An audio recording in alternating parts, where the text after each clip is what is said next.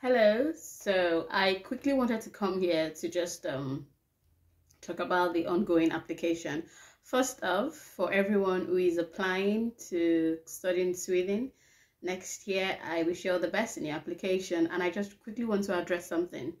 So I have been getting a lot of emails and messages, you know, people asking questions, and I've been answering them as much as I can, you know. But there was a particular question that stood out that came in last week. And uh, I really wanted to address it because I feel like this is one of the mistakes that you might be making as you're applying for next year. When you go to www.universityadmissions.se to apply, make sure you select the autumn 2023 selection for your courses. Now, somebody reached out last week and she was saying, Hey, Yinka, I just got admission to come and study in Sweden and I'll be coming in January or next year and I want to know how to pay my school fees. So the first thing I asked was, when did you apply? She said she just applied. Did you apply for the spring intake? No, she, she said she did not. So how come you said you got an admission and then you're coming to Sweden? So I told her to send me the email she got and then she sent me the email she got. And from the message that she got, I saw that the course she applied for was a unit. Let me, how do I explain it? You know, when you're like in uni, you're, like, you're doing like a five unit course, a seven unit course, blah, blah, blah, blah. So that was the kind of thing she applied for. She applied for like a 15 unit course, I think. And then I was like, there's no way you are going to get admitted for that course. Now, she got an email saying that she needs to pay school fees, but it's not necessarily for the course in court, like she has gotten an admission because this person in question was still seeking to get like scholarship and all of that. And you cannot get scholarship except you're applying for the autumn session. You get what I mean? So when you are applying for your application, make sure that you are choosing autumn 2023, number one.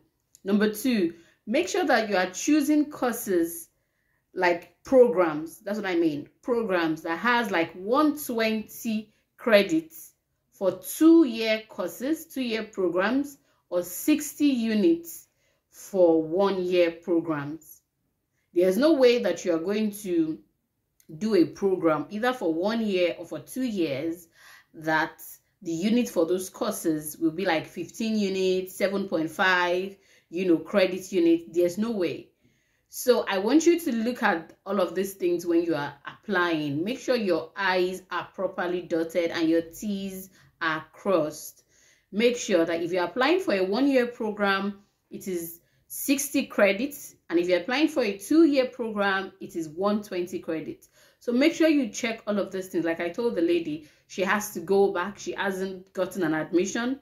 You haven't applied for anything you know even though even though you got an email saying okay you have not approved you have not been approved to study this course they are just telling you that because whoever is in charge probably assumes that you're already a student. Because by the time they check your records and do all of those things in fact one of the first i wanted to understand was are you currently in sweden?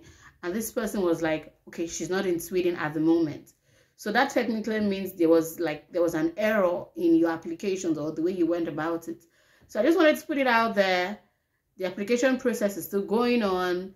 You know make sure you're doing everything that you are meant to do. The results for your applications will not come out till next year april god willing. So before the application closes in in january make sure that you've you've done all of these things and you are checking it. Okay i just wanted to check in on you guys. Make sure you're doing everything that you need to do if you still have more questions, slide into my DM, send me an email, and let me know, and I would answer as best as I can. I wish you guys all the best. Cheers. See you in Sweden for as many of you guys that can make it. Cheers. Bye.